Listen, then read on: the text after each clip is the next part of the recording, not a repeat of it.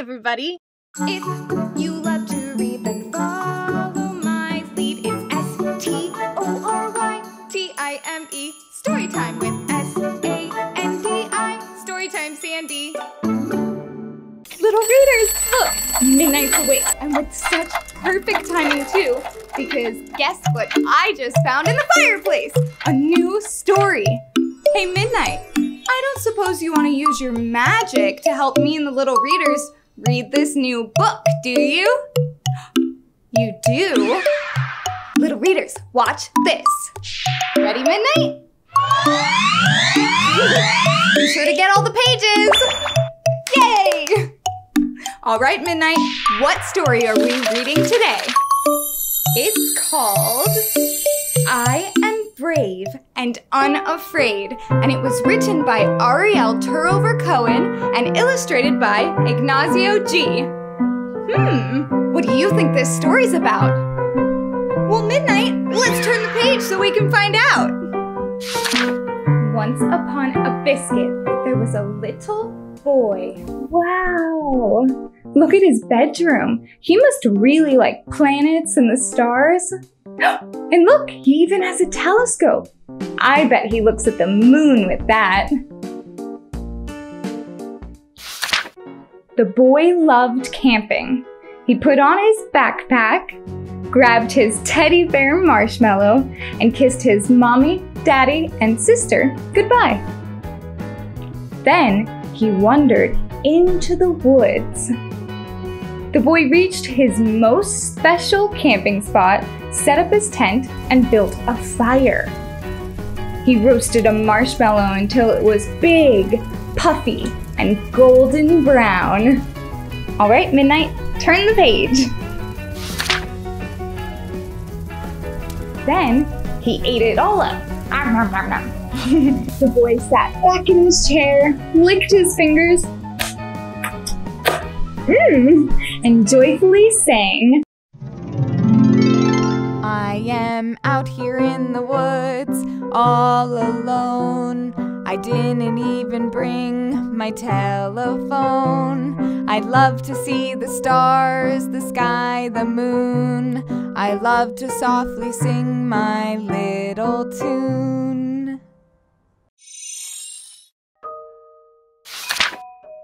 The boy gazed up at the twinkling stars and found Orion's belt, his very favorite constellation. He stood up tall like Orion the hunter. He drew back his bow and arrow and shouted, Release! Fly! Land! He did it again and again and again.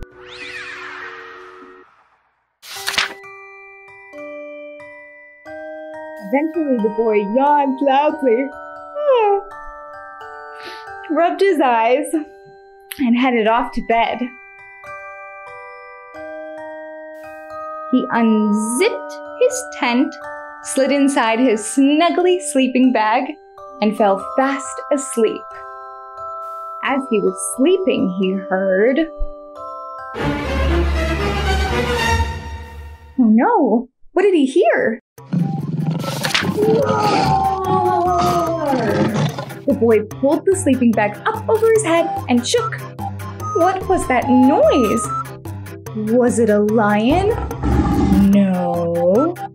Was it a tiger? No. Was it a b- b- b- bear? Is a bear out there? what do you think, little readers? Do you think there's a bear out there? Let's turn the page and find out. He took a deep breath in and slowly exhaled out. The boy peeked through the slit of his sleeping bag.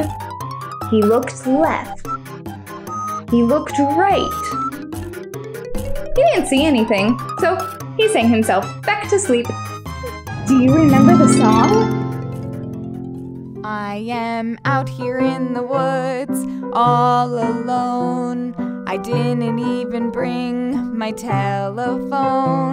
I'd love to see the stars, the sky, the moon. I love to softly sing my little tune. As he was sleeping, he heard.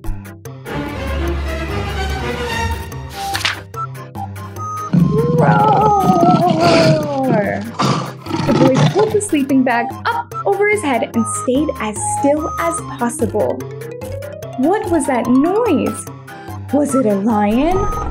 No. Was it a tiger? No. Was it a b -b -b bear?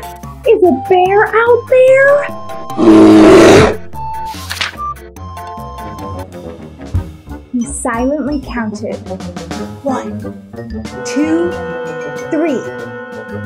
The boy peeked through the slit of his sleeping bag. He listened. He heard the wind. Whoosh. He heard the frogs.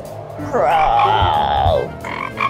He didn't hear anything else, so he sang himself back to sleep. Little readers, this time, sing with me. I am out here in the woods all alone. I didn't even bring my telephone. I love to see the stars, the sky, the moon. I love to softly sing my little tune. As he was sleeping, he heard. Roar! The boy pulled the sleeping bag up over his head and imagined he was invisible.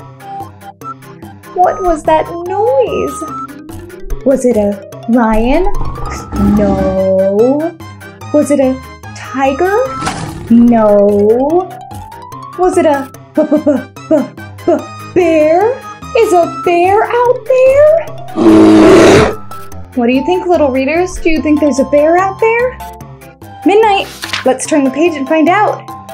He thought and thought about what to do next. The boy peeked through the slit of his sleeping bag. He saw a large shadow moving outside of his tent. The boy courageously repeated to himself, I am brave and unafraid. I am brave and unafraid. I am brave and unafraid. The boy bravely stepped out of his sleeping bag, confidently unzipped his tent, and stood face to face with his big puffy golden brown marshmallow. Oh my goodness, there was a bear outside. His teddy bear. oh. The boy rubbed his eyes, looked down at Marshmallow, and snuggled him tightly. The boy yawned a big yawn, ah, closed his eyes, and fell fast asleep smiling. well, thanks for reading with us, little readers. I hope you liked I Am Brave and Unafraid, written by Arielle Turover Cohen and illustrated by Ignacio G. See you next time.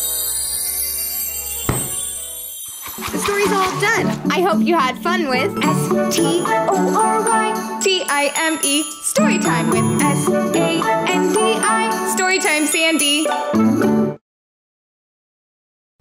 Oh, and if you missed the last story, or you just want to read it again, you can click that video right there. Go on, click it. And if you haven't already done so, be sure to hit subscribe. That way, you'll be sure not to miss any other stories that Midnight finds for us to read. Goodbye, little readers!